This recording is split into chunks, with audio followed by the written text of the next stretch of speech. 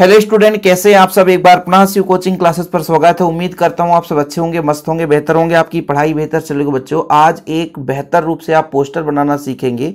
क्योंकि board exam में हमेशा पूछा जाता है, यदि ट्वेल्थ क्लास में है, और ये जो पोस्टर बनाया जाता है बच्चों, ये आपको प्रश्न से ही तैयार करना है। कहीं अलग से कुछ भी नहीं करना है, ये जो आपका प्रश्न दिख रहा है ना, इसी प्रश्न से आप पोस्टर बना सकते हैं। सबसे पहले प्रश्न को पढ़ें, और यहाँ पर आपको समझना प्रश्न क्या कह रहा है। Design and attractive. डिज़ाइन मतलब आपको डिज़ाइन देना है अट्रैक्टिव मतलब आकर्षक पोस्टर का। है ना? यहाँ पर बोल के रखा है कि पोस्टर ही बनाना है। लोगों को ये कंफ्यूजन रहता है कि सर, हम कैसे जानेंगे कि पोस्टर बनाना है, कि नोटिस लिखना है? तो भाई वहाँ पे लिखा रहेगा design and attractive poster on behalf of Delhi police मतलब दलही पुलिस के सापेक्ष आपको एक पोस्टर तैयार करना है।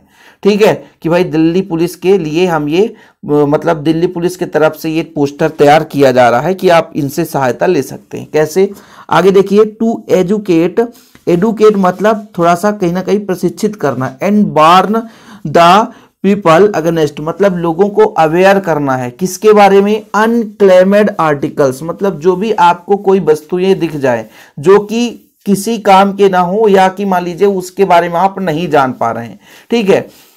लाइक डॉल्स जैसे मान लीजिए डॉल्स यानी गुड़िया कहीं पे पड़ा हो टू टिफ़िन है, वाक्सेस है मतलब कई सारे वाक्स जैसे पड़े रहते हैं कहीं भी पब्लिक प्लेस पे suitcase bags transistor mobile lying in public place train buses अब देखिए, यहाँ पर यह बोला गया है कि मान लीजिए आपको क्या करना है बच्चों, सबसे पहली बात तो एजुकेट मतलब प्रशिक्षित करना इन बार्न लोगों को जागरूक करना है, ठीक है, सचेत करना बार्न मतलब होता है सचेत करना, the people against unclaimed articles मतलब ऐसी कुछ वस्तुएँ जो कि आपको पब्लिक प्लेस पे दिख जाए ट्रेन पे दिख जाए बस स्टैंड पे दिख जाए बस पे दिख जाए ऐसा जगह जहाँ पब्लिक प्लेस हो और हम उन वस्तुओं को नहीं समझ पा रहे हैं किसका वस्तु। ये चीज़ें आपको यदि दिख जाए लाइक्स डॉल्स गुड़िया जैसे आपके पास टिफ़िन है बॉक्स है सूट केस ये चीज़ें दिख जाए, लावारिस जिसे बोला जाता है तो उसके लिए आपको क्या करना पड़ेगा?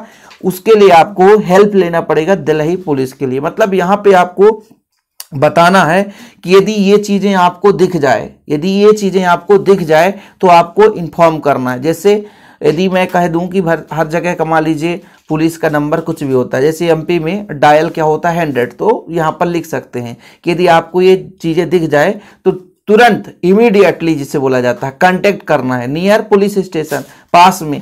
तो इसके बारे में लिखना सबसे पहले क्या करना बच्चों? यहाँ पे कुछ ऐसा एक छोटा सा शब्द लिखना है, जिससे लोगों को कहीं ना कहीं जागरूकता आ जाए। जैसे इफ़ यू आर अलर्ट यदि आप लोग अलर्ट हो मतलब अंदर से जागरूक हो तो यू कैन एवर्ट आप टाल सकते हैं। यू कैन एवर्ट का मतलब होता है, आप टाल सकते हैं। कोई भी कितना भी कठिनाइयाँ हो, ए बम ब्लास्ट जैसे मान लीजिए आपके नज़दीक में कोई घटना, दुर्घटना घटित होने वाला हो, उसे आप टाल सकते हैं। इफ़ यू आर अलर्ट मतलब आप यदि सचेत हो तो यू कैन एवर्ट आप उसे हटा सकते हो। किसके बारे में? भाई, ये सब जो वस्तुएँ हैं, इससे क्या हो सकती है? आप पहले सोचो। Bomb blast. हम बनाने ही जा रहे हैं बम ब्लास्ट। तो थोड़ा सा पहले आपको लिखना है। कैसे लिखना बच्चों? मैं दो कलर्स का यूज़ करता हूँ। एक तो मेरा रहता है ब्लू और एक ब्लैक। तो सबसे पहले लिखना है बच्चों, जैसे मैंने कहा, एक छोटा सा शब्द लिखना है।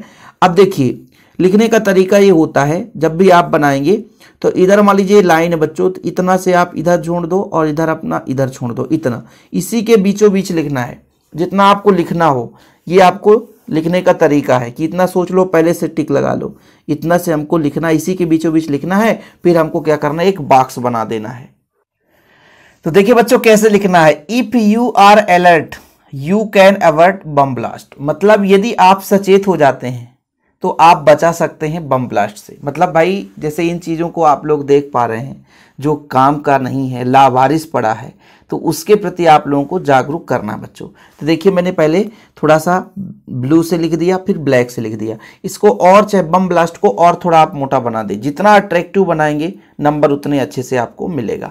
अब किन चीज़ों के बारे में थोड़ा सा आपको जागरूकता देनी है? जैसे आपको मिल जाए कहीं पे अनक्लेमेड वस्तुएँ, जैसे यहाँ पे डॉल्स हो गया टिफिन्स हो गया बॉक्सेस हो गया सूट केस बैग्स ट्रांजिस्टर इसको आपको नीचे लिख देना है। तो आगे लिखना बच्चों वेन यू नोटिस यदि आप कुछ नोटिस कर पा रहे हो, यदि मान लीजिए कहीं आप जा रहे हैं और नोटिस कर लें, क्या एनी अनक्लेम्ड लावारिस चीज़ें, जैसे डॉल्स गुड़िया tiffin box transistor briefcase है ना? या जैसे इसको हम संक्षिप्त मामला बोलते हैं छोटा मोटा कोई वस्तु सूट केस बैग्स एटसेट्रा आगे लिखना बच्चों तो आप लिख सकते हैं एक्स्ट्रा में एटसेट्रा और भी कोई वस्तु दिख जाए आपको मोबाइल वगैरह दिख जाए तो मैं मोबाइल भी लिख देता हूँ, ठीक है? मोबाइल लिख, दिख जाए बच्चों, मोबाइल्स, है ना? और आप लोग लिख सकते हैं इलेक्ट्रॉनिक वस्तुएँ, या मान लीजिए चार्जर दिख गया आपको, और हमारे काम का चीज़ें नहीं है एटसेट्रा मतलब और भी कुछ, ठीक है? तो आपको कोई लावारिस चीज़ें दिख जाए इनमें से तो आपको क्या करना बच्चों? क्या करना है? इन्फॉर्मेशन देना है किसको? दलही पुलिस को। अच्छा ये कहाँ पे दिख जाए? अभी तो आपको ये बताया कि यदि आप इन चीज़ों को नोटिस कर लें। कहाँ नोटिस कर लें? In a public place in a pub इनको आप नोटिस करो। कहाँ यदि नोटिस करो बच्चों?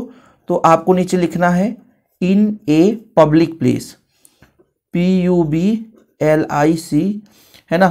Public place P L A C public place या मान लीजिए ट्रेन्स में ट्रेन्स में आपको दिख जाए। या मान लीजिए आपका बस स्टैंड या बस में बच्चों, या बस में दिख जाए, या एट्सेट्रा मतलब और कहीं पे दिख जाए तो ये चीज़ यदि आपको दिख जाए तो आपको क्या करना है?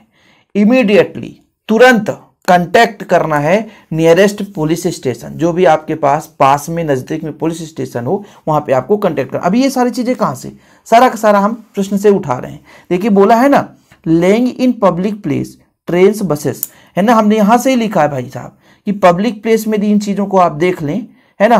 बस एटसेट्रा और कहीं भी आप देख लें तो आपको क्या करना है? नियर अबाउट पुलिस स्टेशन जो भी आपके पास हो, वहाँ पे आपको डायल करना हंड्रेड ठीक है? हेल्प मिल जाएगा आपको दिलाई पुलिस से। तो ये चीज़ें आपको लिखनी है। Immediately contact nearest police station या डायल सौ नंबर। हमारे एमपी में सौ नंबर चलता है, इसलिए डायल सौ नंबर। ये हमने तैयार कर लिया। अब इसमें बच्चों, मुख्य रूप से आपको जैसे अभी आपका ये पूरा कंप्लीट नहीं कहलाएगा, जब तक इसको आप एक बॉक्स के अंदर बंद नहीं करेंगे। तो चलिए, इसको मैं एक बॉक्स के अंदर बंद करता हूँ और फिर आपको थोड़ा सा सिस्टमेटिक यहाँ पे दिखाता हूँ कैसे दिखता है। ठीक है, ये बॉक्स के अंदर बंद हो गया। इधर भी आपको एक बॉक्स के अंदर इसको बंद करना है। ठीक है, जितना अच्छे से इसको आप सजाओगे, उतने अच्छे से आपको नंबर मिलने के चांस रहते हैं। ओके अब देखिए बच्चों, मैंने डबल लाइनिंग कर दिया है ताकि आपको देखने में भी अच्छा लगेगा। अब देखिए पूरा कंप्लीट हो चुका है हमारा। ये बम ब्लास्ट का कंप्लीट अब पुलिस स्टेशन इन्हीं, आप लोग अपने जो भी पास में नियर पुलिस स्टेशन या हंड्रेड डायल कर दीजिए और हेल्प दिलाई पुलिस मतलब आप इनका हेल्प कर सकते हैं ताकि बम ब्लास्ट को रोका जा सके। अब आपके पास कितना अच्छा कला है। यहाँ पे आपको यदि बम बनाना है तो बम भी बना सकते हैं। जैसे यहाँ पर एक छोटा सा बम आप बना सकते हैं। कैसे होता है बम ऐसे ही होता है ना, गोलाकार।